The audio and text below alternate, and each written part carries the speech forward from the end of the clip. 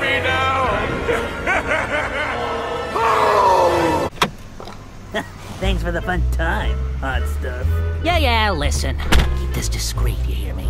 I can't let it get out I'm offering my services to randos on the street. It was a quick cash grab. You got it?